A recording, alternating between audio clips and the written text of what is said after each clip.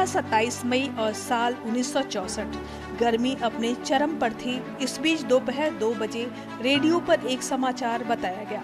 समाचार ये था कि देश के प्रधानमंत्री पंडित जवाहरलाल नेहरू अब दुनिया में नहीं रहे।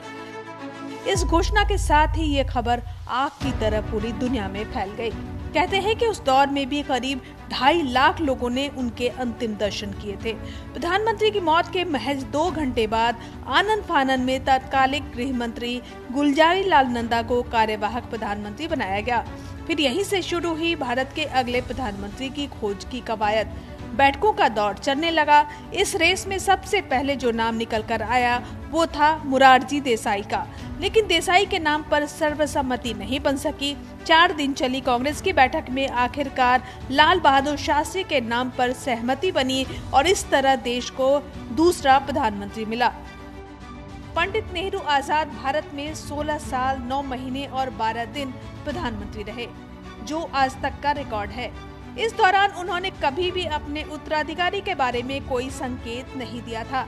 यहाँ तक कि उनके निधन से पाँच दिन पहले उन्होंने एक प्रेस कॉन्फ्रेंस में इस बारे में पूछा गया तो उन्होंने जवाब दिया था कि मैंने इस बारे में सोचना तो शुरू किया है, लेकिन मुझे नहीं लगता कि मेरी मौत इतनी जल्दी होने वाली है।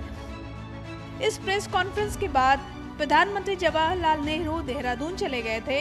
यहीं पर उनकी तबीयत खराब हुई। 26 मई की रात वो दिल्ली लौटे 27 मई की सुबह करीब छह बजकर तीस मिनट पर उन्हें पैरालिटिक अटैक आया और फिर हार्ट अटैक आया।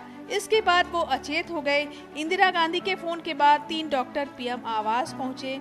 उन्होंने पूरी कोशिश की, लेकिन पंडित नेहरू का शरीर रिस्पॉन्स नहीं कर रहा था। कई घंटों की कोशिश के बाद डॉक्टरों ने उन्हें मृत घोषित कर दिया। इतिहास के दूसरे अंश में बात बच्चों के चहेते वर्ल्ड डिज्नी की करेंगे। 27 मई साल 1933 आज ही के दिन वर्ल्ड डिज्नी और बट गिले लेट ने थ्री लिटिल स्पीक्स नाम की एक एनिमेटेड शॉर्ट फ़िल्म रिलीज़ की थी, जिसे दुनिया भर में खूब पसंद किया गया था। इसे फ़िल्म की कहानी पर आधारित सिली सिम्फनी ने 1934 में सर्वश्रेष्ठ एनिमेटेड शॉर्ट फ़िल्म के लिए अकादमी पुरस्कार जीता था। इस शॉर्ट फ़िल्म की लागत बाईस हज़ार डॉलर थी और इसने दो लाख पचास हज़ार डॉलर की कमाई की थी। इतिहास के तीसरे अंश में बात एक भीषण तबाही की करेंगे। 27 मई साल 2006 में आज ही के दिन इंडोनेशिया में विनाशकारी भूकंप आया था। रिपोर्ट्स के मुताबिक इस भूकंप में करीब 5000 लोगों की मौत हुई थी।